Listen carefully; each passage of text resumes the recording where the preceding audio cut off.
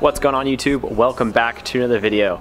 So today we are welcoming the new vehicle to the channel and as you can tell from the title of this video you already know what that is. So let's get right into it and showing you guys my 2021 Toyota Tacoma.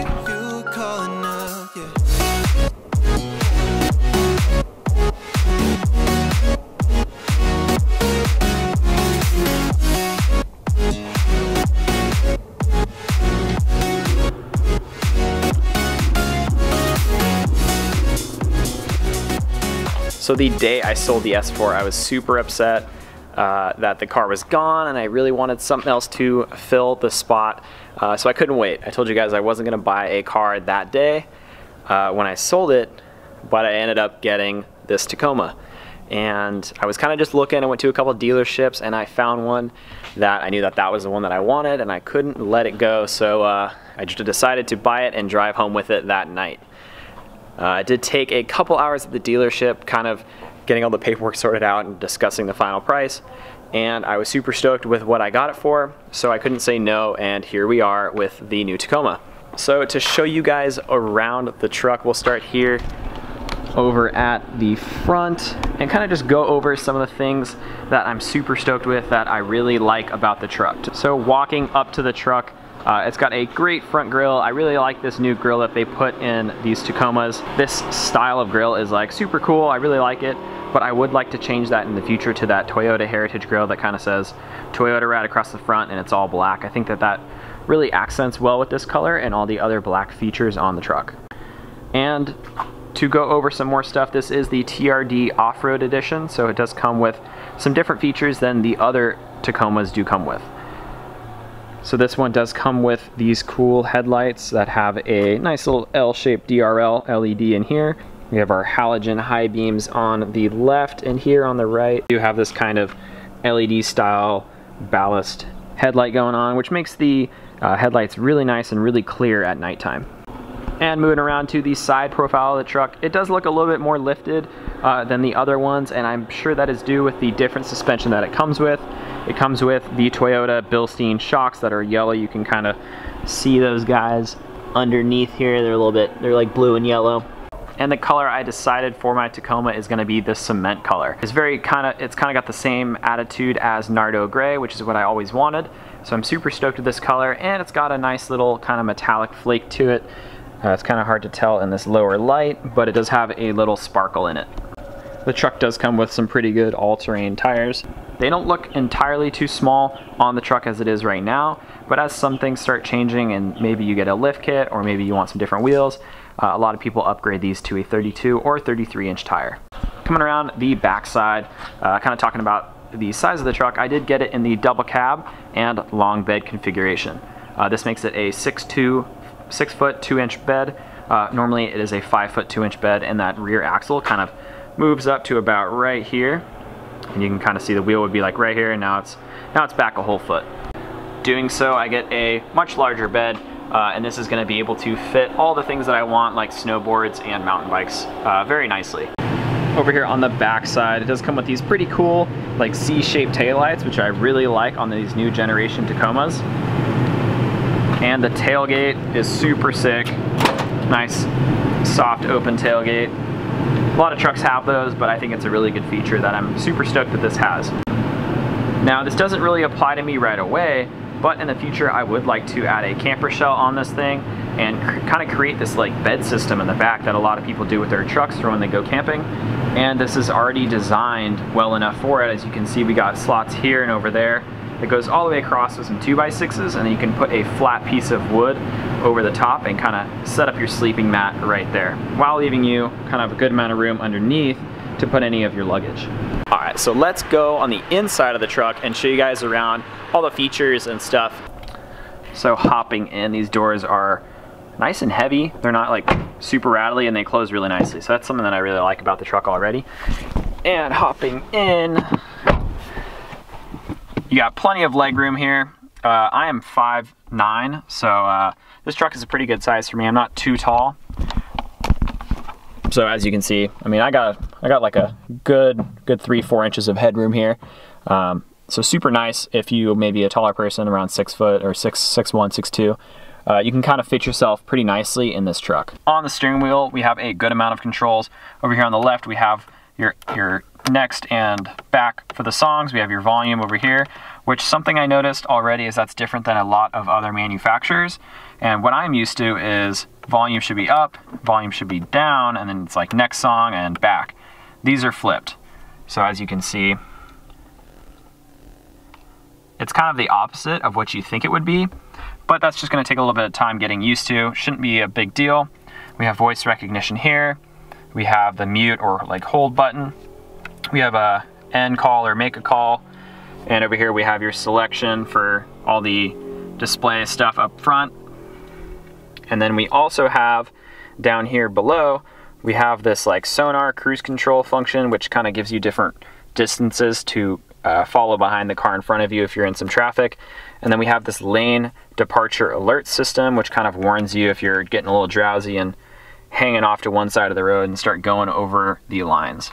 So one thing I'm super stoked with is this display is a really good size. Like it's super easy to see when you're driving around. It's super clear during the day and night and it's a nice size. I believe it is the, and it's like the seven or eight inch display. I'm not totally sure, but whatever it is, this is the perfect size that should be in this truck.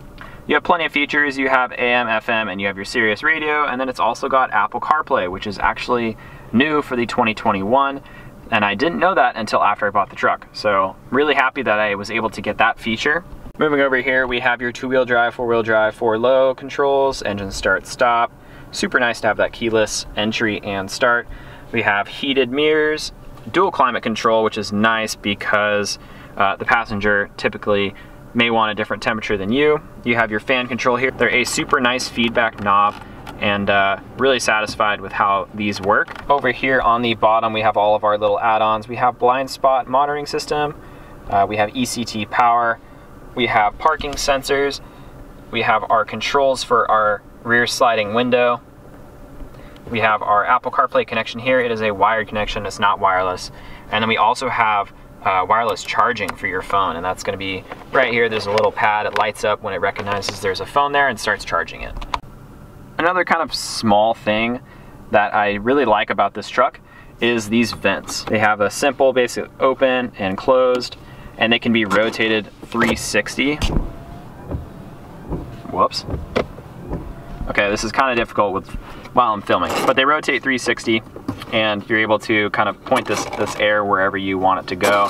When I was watching plenty of reviews on this truck, uh, they pointed out something that I thought was pretty funny, so I'm gonna bring it up in this video, and that's the fact that this truck has a ton of cup holders, like all over the place. So I'll start it out, and we'll go around and we'll count how many cup holders we have. Starting over here on the driver's side, down below you have two cup holders. You have two more kind of larger sized ones here. You have a smaller one here, two more over there. You have two right here behind the center console. And for the passengers in the back, you have two more here and two more on that side as well. So if my math is correct, that is 13 cup holders for four people. Little extra, but I like the options. I like the options. Over here on the left side, which is kind of hard to see when you're driving and to kind of know where these buttons are until you get really used to them, is going to be your traction control, which also enables auto LSD and uh, one other function. And then over here we have our bed light, which can be on or off. And then it also can go to the middle and that can be controlled with when you open your doors. We have our auto high beam system, which is actually really nice when you're driving at night. It'll turn those high beams on and off depending on if there's a car in front of you. And then we also have our power for uh, our different functions. Now another feature that is unique to the TRD Off-Road and the TRD Pro, uh, which is something that I wanted, is going to be this crawl control functions that they have. And it's kind of hard to see here, but we have our different terrain that we can select here. We have our, our dial for basically essentially cruise control and how fast you want to crawl. I believe it's one to five miles an hour. And then we have our crawl function here. Up here, kind of a little bit higher, uh, we have our locking rear differential that we can activate. And then we have our little SOS button here with this fancy cover. So I've only had the car for a couple days now and uh, I'm kind of just starting to find all these little features and stuff that I didn't already know were there. So among all the things that I've already mentioned in this video, there may be some stuff that I'm missing.